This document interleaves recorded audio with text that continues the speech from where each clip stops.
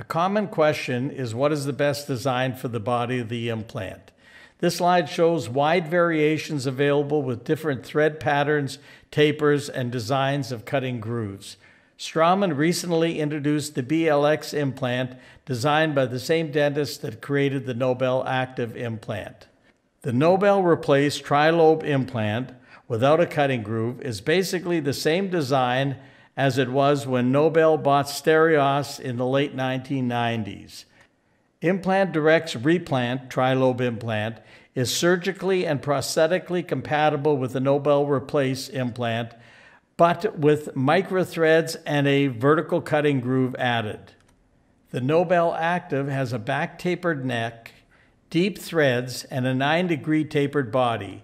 The Legacy and Interactive implants, on the other hand, have a 2 to 3 degree tapered body with efficient long cutting grooves and a round apex.